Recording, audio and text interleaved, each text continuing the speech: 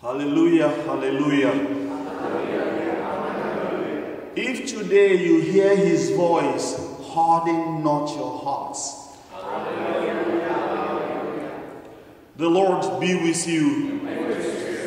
A reading from the Holy Gospel according to Matthew. Some of the scribes and Pharisees said to Jesus, Teacher, we wish to see a sign from you.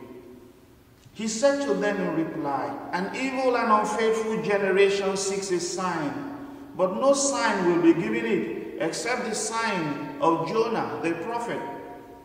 Just as Jonah was in the belly of the whale three days and three nights, so will the Son of Man be in the heart of the earth three days and three nights. At the judgment, the men of Nineveh will arise with this generation and condemn it, because they repented at the preaching of Jonah. And there's something greater than Jonah here.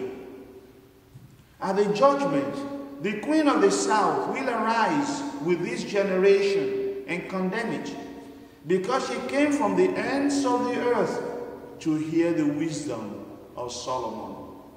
And there's something greater than Solomon here. The gospel of the Lord.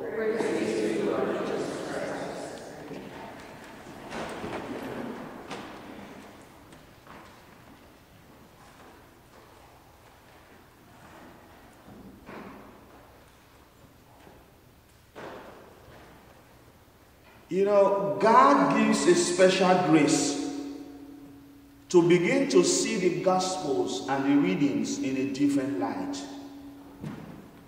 To begin to see that what we learned as children is just like an infinitesimal little, little, little part of the Gospel. To begin to see that there's so much to learn, so much to enjoy from the rich fount, fount of the Word of God. So today I look at the, so the report is that Pharaoh and his servants changed their minds, you know. They had allowed the people to go from servile work, from offering themselves to service of work. You know that from the very beginning, God created human beings to know, to love, and to serve Him. That was the reason why he, he created us to worship. But now humanity, they are just working, working under the slavery of Pharaoh, working and toiling under the burden and slavery away, slaving away under the sun and toil. Pharaoh did not allow them to focus on the only thing that matters the will of God, to worship, to be little, to adore, to serve God. So God had already called Moses. Moses, you know, go, go, go there, deliver my people, go to Pharaoh and tell them. Go and meet them so that my people can be free to worship me. You go into the wilderness to worship free. And Moses has delivered this message. A lot had happened. A lot has happened. And then, you know, of course, finally, we're told that the king was ready. He changed his mind, however, after saying, let them go. Okay, let them go.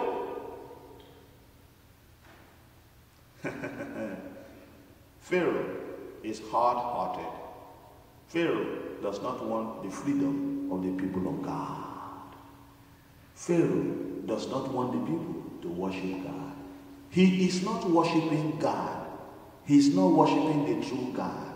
He is worshiping the false God. And the false God is the God of work, the God that takes them away from focusing on who they are. So while working, they lose their identity. While working, they fail. While working, they lose who they truly are. But God knows. And you know, these same people cried to God, and now God has given them the pattern how to get out of this place. And now they are chasing towards. And now, you know, the warriors of Pharaoh, the chariots, are now chasing after them. they don't know. What did we do to let these guys go? And the Israelites themselves, knowing that the Egyptians were chasing after them, were wondering, oh, now God is bringing us into a place of torment, into a place of death. He should have left us there in Egypt. And they are charging after Moses, the one who is to help them, the one who is assisting them, the one who is making sure that they get to the promised land. Who is our, who is your friend? Who is your enemy? Is it Pharaoh or Moses? Who do you befriend? Pharaoh is offering something that looks like life, but it is death. All he wants from the Israelites is to keep them in captivity, in bondage. Satan loves to keep the people of God in captivity and bondage, surreptitiously offering them a busy time. America is busy. we are so busy. And we pride ourselves to be very busy. Only one thing is important worship. Only one thing is important worship. And Moses is calling us. Moses is the old Jesus. Jesus is the new Moses. Calling us to freedom calling us out of the captivity of the evil one, calling us out of the guilt and the shame of being bruised, of being under, undergoing corruption in the land of Egypt. The land of Egypt is a place of slavery. Why did Jesus go to the land of Egypt? He was persecuted by Pharaoh, by Herod. They wanted to kill him. God took him to Egypt to, to open that place up because that's always been a place of slavery. But the place of slavery, Joseph rose to become treasurer. The place of slavery, Jesus went there to open up finally. So that the, the devil, Pharaoh, will have no space to operate against the chosen people of God.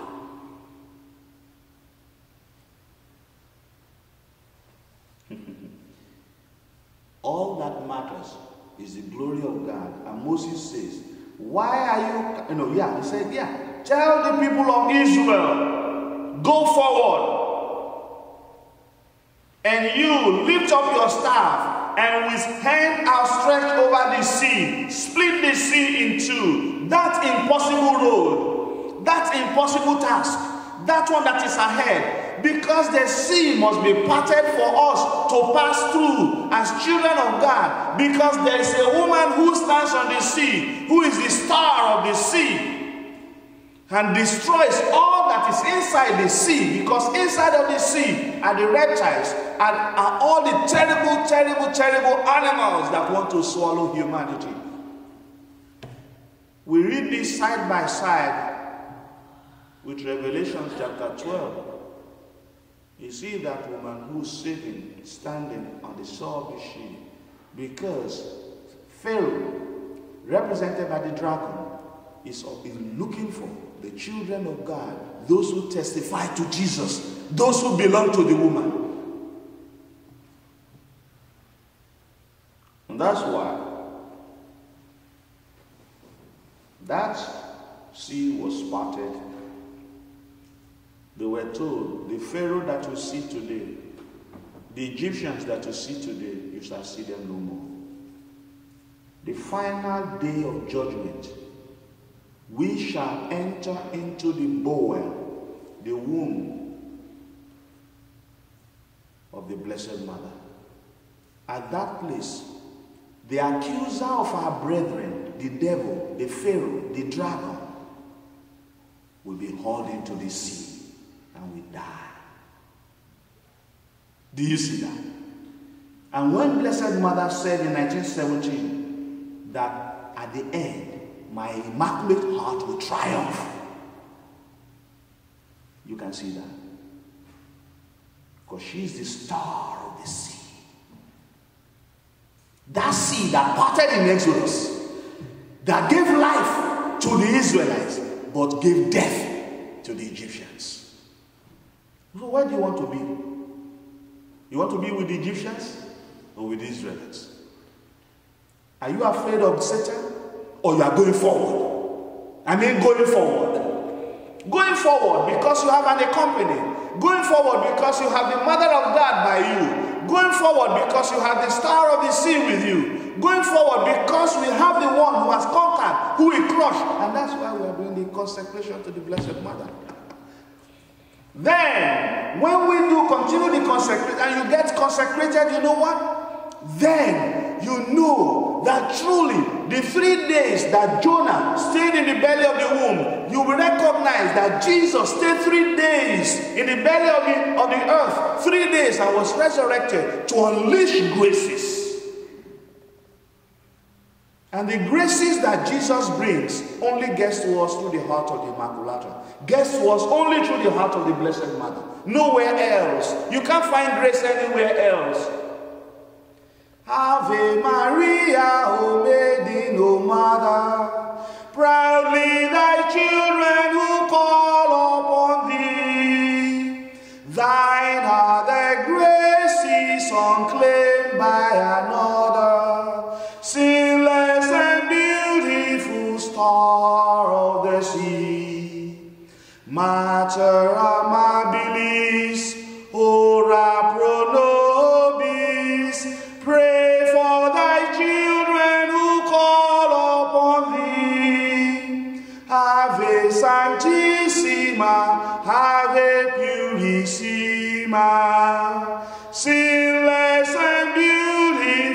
star of the sea.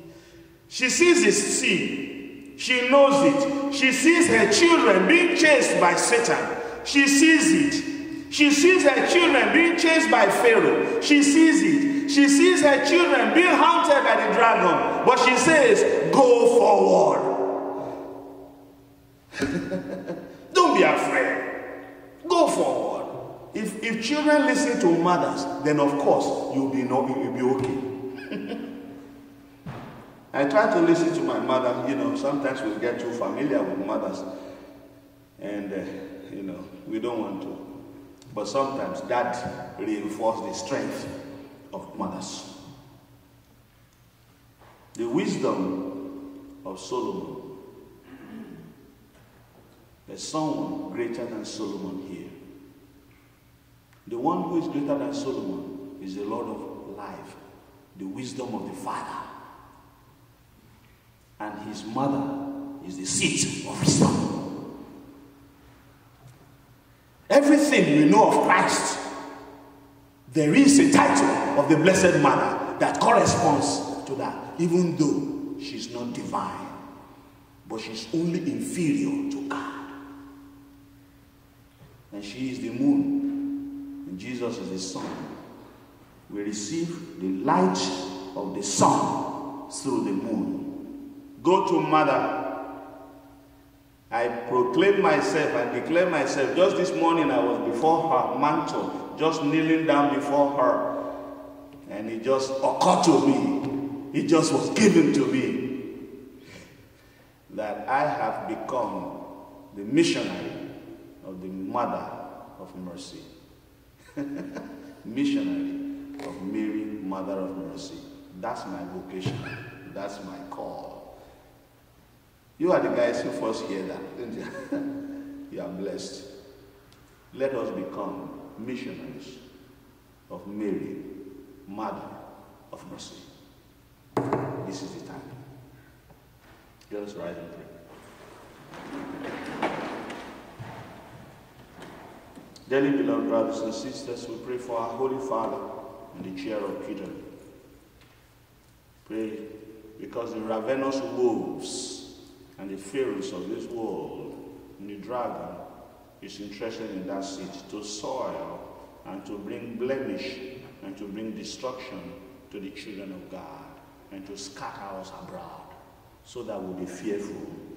Praying that our Immaculata, Mary, mediatrix of all graces, the advocate of all the oppressed people of God, the advocate of those suffering children of God, the advocate of the one who is suffering, the children who are burdened by Pharaoh, may take our petitions to the Sacred Heart of Jesus to defend our Holy Father, Pope Francis, and the chair of Peter. Let us pray to the Lord. Lord we pray for all our bishops at this moment. Pray for the ravaging wolves that wants to scatter the church of the people of God, even now. There are so many people who do not go to church. There are so many people carrying and going about with communistic and socialist views. They don't go to church.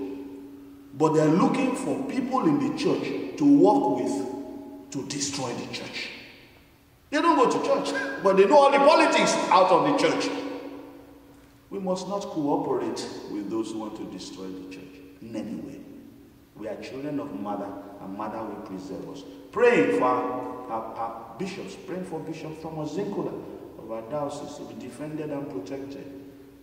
So that the will of God will only be realized through his office. Let us pray to the Lord. Lord Pray for our priests, priests that have been called through the sacred heart of Jesus, priests that have been called only to give the heart of Jesus to everybody, priests who have been called to be privileged sons of the Mary, the Blessed Mother of God, the pure one. Praying that we will be devoted children, we will love our mother, we will love the mother who is the mother of the church and suffer and die proclaiming only the truth that comes from the heart of Jesus. Let us pray to the Lord. Pray for you, our dearly beloved brothers and sisters, in your desire for holiness. Go to the one who is the purest of creatures. Go to the one who birthed mercy for us. Go to the one who birthed grace for us. Go to the one who is the advocate of all the children of God. And she will advocate your case, and nobody can accuse you. Not even Pharaoh can accuse you. Not even Satan can accuse you because she has been made a perpetual enemy of Pharaoh, of Satan.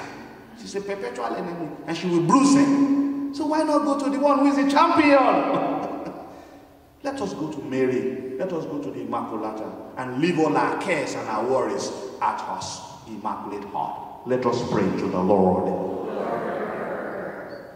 Pray this morning for Richard O'Day, for whom we celebrate this Mass. Let us pray to the Lord. We pray for those who have allowed fear, who are haunted by fear, who are haunted by guilt, who are haunted by their previous lifestyles, those who are haunted by a life of addiction, those who are haunted by the way they have lived their lives before, the moral choices they have made before. And those pharaohs are chasing after them even now, not, not wanting them to go. We pray that our mother will encourage them. Our mother will take them into our bosom. Our mother will continue to tell them to go forward, go forward, go forward. They will never look back to the life of sin, the life of debauchery, the life of adultery and fornication, the life of masturbation and and pornography, the life that has been that has been destroyed, so that those people will continue to seek now only, only, only, only, only to do the will of God. Let us pray to the Lord. Father in heaven, give us the grace of surrendering ourselves totally to you.